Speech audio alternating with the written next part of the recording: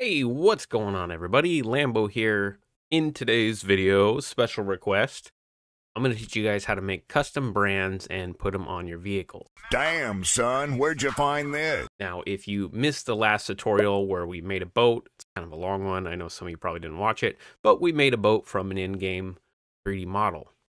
In those comment sections, somebody asked how to make custom brands. So in this video, we're going to cover that and I'm going to show you some sneaky little tricks. So make sure you stick around towards the end of the video.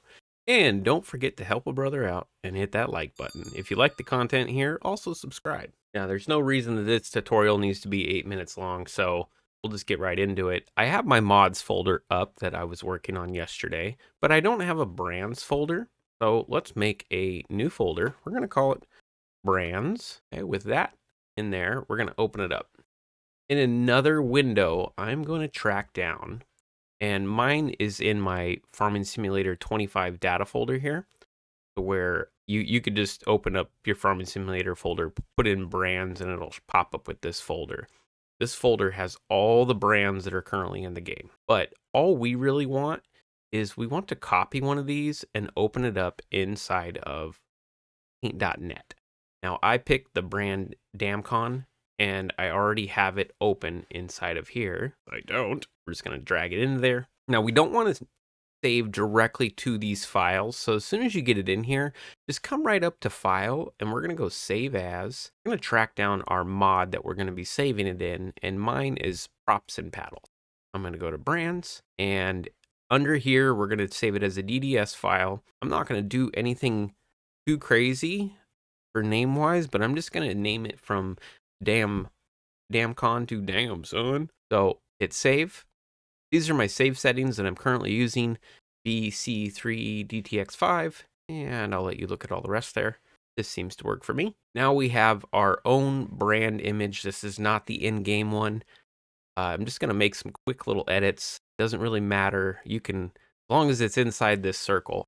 You want to make sure if we go up to image and we go to resize that these are the dimensions 512 by 256 that you want to stick with. Otherwise you'll get some errors. All right, now that we got that, let's make some small changes here. I don't know what uh what font that is, but I'm to go through right now and remove that part. If you don't know how to use paint.net, do some Googling, do some tutorial watching. I'm just to hurry up and get this made. Okay, now that I have it made, I'm going to save my brand again under my brands uh, because I have multi-layer here, make sure my save type is still a DDS direct draw.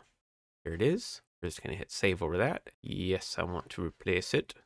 There's my settings. We can flatten it out now. And now we need to tell the modDesc that we have a new brand and we want to do it. So we're going to take this name that we created, brand damn son. We're going to open up our modDesc from it. And this is the code you're going to have. So you'll have brands and then you'll have the individual brands underneath those. So you can put multiple here.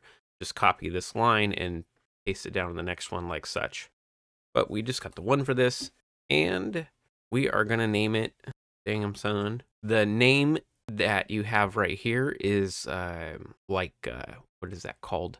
When you call to action, basically, you're going to put this in the store data in the mod XML, and then it's going to display this title. So I will do them a little bit different so you can see how they look. And then we need to tell them where the image is. So the image is going to be under our brands, and then we need to paste that damn son DDS in there. After we have that, let's hit save. We're going to copy this brand name, Damn Son. I'm going to go to my boat mod that I made yesterday, and we're going to come right here to where it says brand. We're going to paste that in there, hit save, and load it up in game. If you made any errors in your modDesc, you will not find your mod on this screen. Go back to your modDesc, double check everything. You didn't put an extra period, comma, whatever anywhere.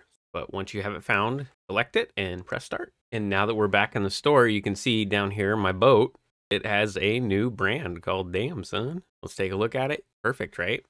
Got the little, uh, I've always wanted to do that. And you can see when you very first get in the boat, like right here, you can see that that brand name shows up before the actual name. So the name of this engine is Fastboat, but the Damn Son brand name pops up before that. yeah, there you go. If you enjoyed this and you want some more tips and tricks on modding, make sure to hit subscribe and don't forget to hit that like on the way out. That way I know I did not waste my time.